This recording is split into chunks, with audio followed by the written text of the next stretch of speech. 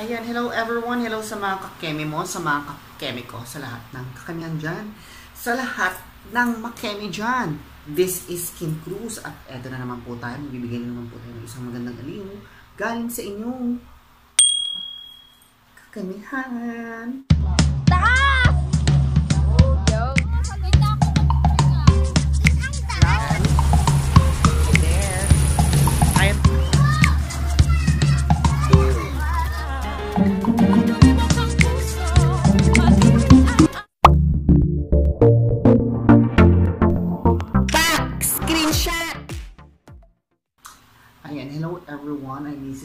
Much. I miss you all. Sa lahat ng kakimihan, I miss you all so much. Sa nararanasan po natin ngayon, sa buong daigdig, nakakaranas po tayo ng, ng about the virus. Yan. Um, isa lamang po ang isa lang po ang dapat natin gawin. Kailangan po natin wala na po tayong magagawa sa pagpasok ng virus. Diyan na po yan isa pong pagsubok sa atin yan sa buong mundo ng ating buong may kapal. And of course, ang tama po natin gawin ay maging malinis sa katawan. Ayan. Magpalakasin natin ang ang ating katawan inside and out. Like, kailangan po natin malinis ang katawan everyday. Kailangan natin maligo. And of course, kailangan po natin palakasin ang ating immune system kailangan natin mag-vitamin C, yan, tulad na ng pag-inject ng vitamin C.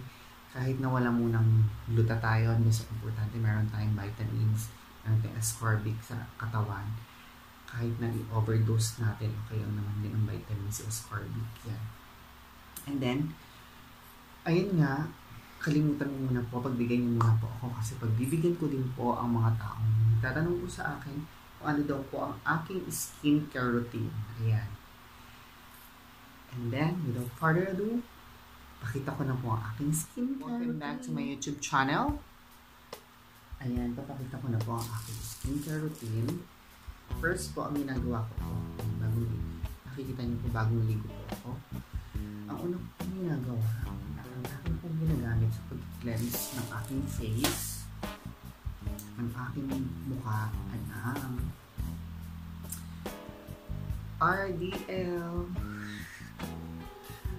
nakakahiyaman pong pakita kasi itong RDL na to talagang subok na talaga na matibay. Ever since ang model pa nito ay si Angelica Panginiban. Ay, no, Angelica de la, de la Cruz. Yan, kauna-unahang naging model ng RDL. At ang ginagamit ko po ay number 2. Kasi bakit ba? Kasi ang mukha po natin, kailangan po natin na palitan lagi ang pamamalat ng mukha natin. Para pong parang kung halimbawa na natin sa paglalagay ng pintura sa dingding.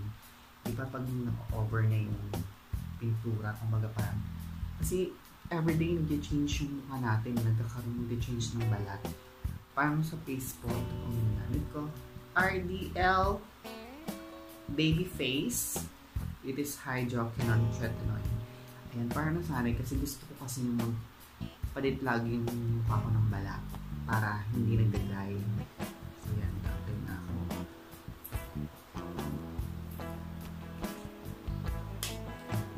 Ito naman ang aking sekreto sa paglinis sa mukha. Ayan. Pag nagpapahid, kailangan smooth lang.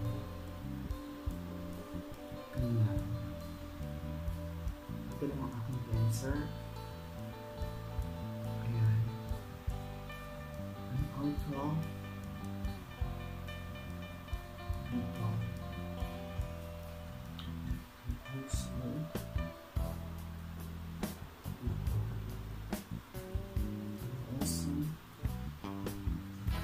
Parang ginagawa ko din siyang cleanser. Kasi before I used RDL number 3 namalat na siya pero ito parang mini-maintain maintenance ko na lang. Para paunti-unting balat para kunwari para pag tumubo na ang mga dead, dead skin ko magbabalat ulit siya. Kumbaga nakikiramdam yung skin ko. Pag halimbawa may mga dead skin na tsaka siya mamamalat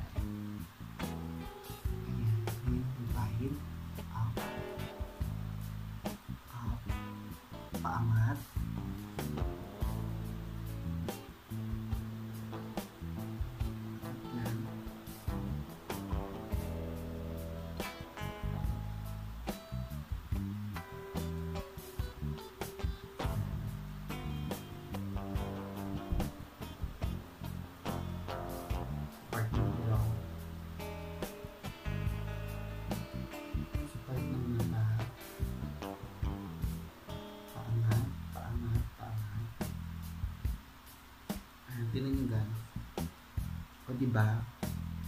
Ayan. Tingnan nyo. Ayan, tingnan nyo. Diba? Yung mga dumi na tanggal sa mukha ko. Parang yung cleanser na rin siya sa mukha ko. Diba? Tanggal yung mga yung mga dirty face, mga dead skin.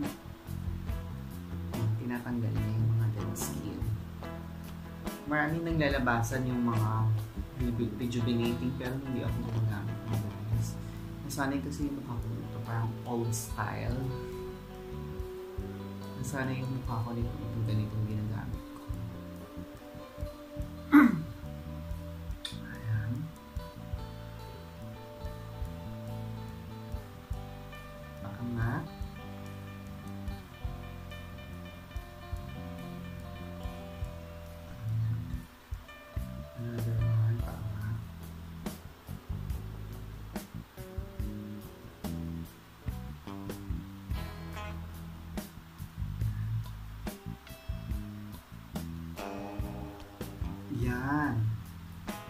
Alam niyo guys, yun nga din pala.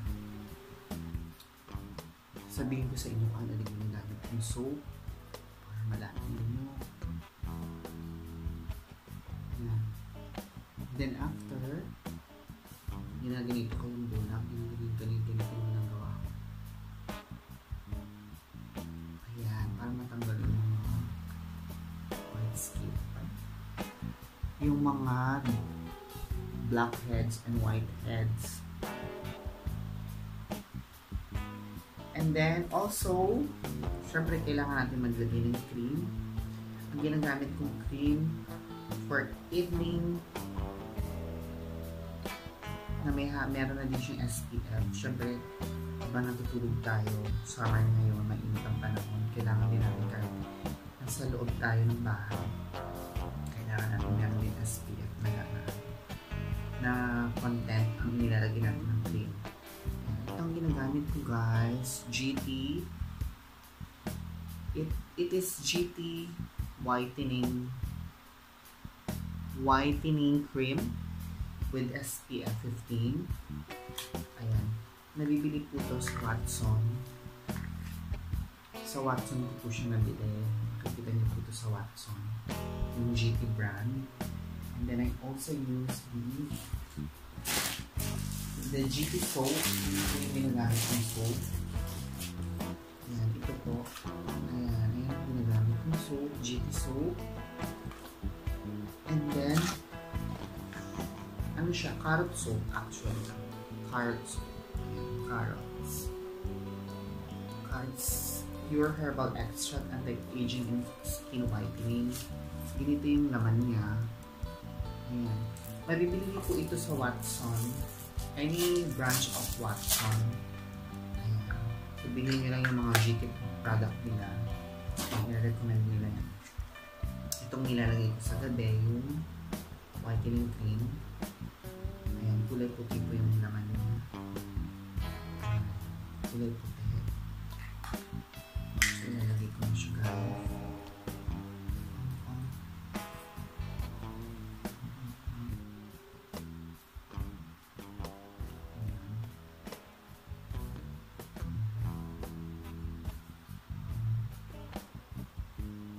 Pag sa mga ibang bago pa lang na gumagamit ng RDL, mararanasan niyo talaga yung mga hindi, yung mga. Ganun talaga siya.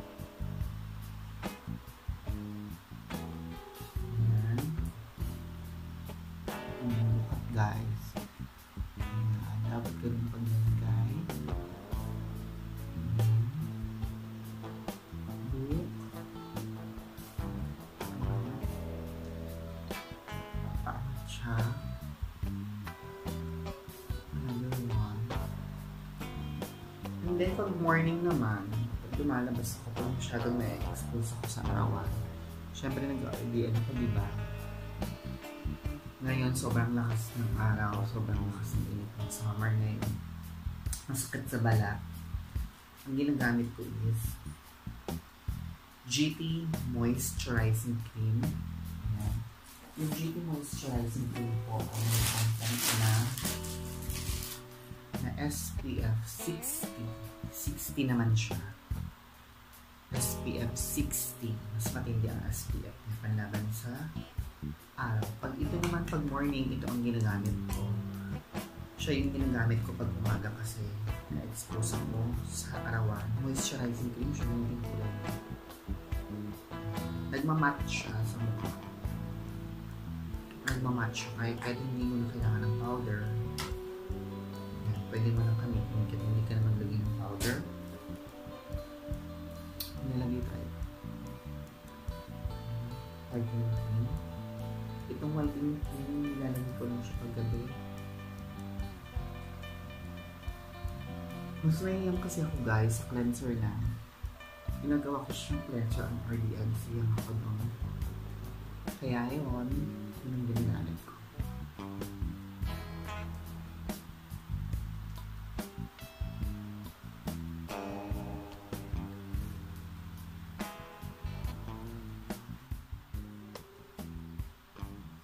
And then, yan.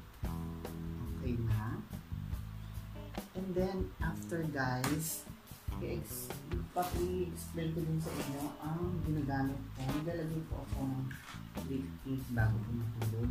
Ito po ang ginagamit ko kasi po para po ano po siya, herbal lip tint. Either na maglagay ako ng ng petroleum or any moisturizing sa, sa bibig ko. Ang ginagamit ko ay lip tint kasi natural product siya na mayroong siyang um, meron siyang herbal content na nakaka-soft ng balat. Meron siyang glycerin content. Ito pong modern, modern cosmetic lip matte. Yan po ang ginagamit ko pag matutulog. Nilagay ko ako ng lip tint. So, nagtatanong sila, bakit matutulog ka na lang may lip tint ka pa? Hindi po nila alam kasi yung lip tint na nilalagay ko, moisturizing lip tint po din siya. Hindi siya nakakapag-dry kasi meron po siyang content na glycerin. Yun po ang nilalagay ko. Ito ang nilalagay ko. Yung nilalagay ko nito. Hindi naman tulog kasi nga nakakatulong na rin siya sa pag-moisturize na imbis na maglagay ako ng petroleum, nakakatulong din siya makapag-moisturize ng aking ng aking lips. It is modern cosmetic lip matte. Pwede siyang lip tint and cheek tint. Yan, yun yung ginagamit ko. Ginagamit ko din po siya bago matulog kasi nga nakaka-moisturize siya, siya ng lips. And then after magsusuklay na tayo. Meron tayong community quarantine. Huwag po natin kalimutan na palakasin natin ang ating immune system. And then also, huwag po natin kalimutan na palakasin ang ating outsides. Outsides. Huwag po natin kalimutan na maging maligo araw-araw, malinis ang ating uh, katawan. And of course, mag-vitamins po tayo. And of course, number one po na huwag natin kakalimutan na lagi po tayo oras po.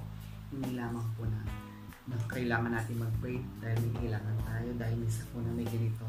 Lagi po tayo mag-pray every minute, every seconds na gusto po natin pagdasal at pasalamat sa poong may kapal. Dahil po kung wala pong poong may kapal, wala pong meron ka na kung anong meron ka ngayon. Isa lamang po ang aking masasabi. Hindi po tayo mag-iingat. Miss you all so much. Po, at kung napanood mo po itong aking video, at kung nasilip mo ang aking YouTube channel, don't forget to click the subscribe and don't forget to click the notification bell para updated ka sa aking mga latest video. Bye and good night. I love you all.